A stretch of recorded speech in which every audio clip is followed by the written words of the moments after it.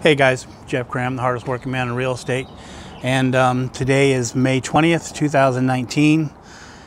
Uh, so, wow, market picked up a little bit last week.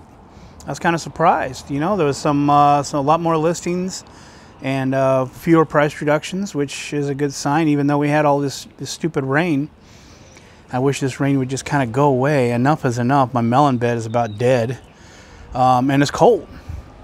I mean, it's still getting down in the, you know, that's not unusual for it to get down cold like this, but the rain is kind of weird. I'm not saying we don't need it, but enough is enough.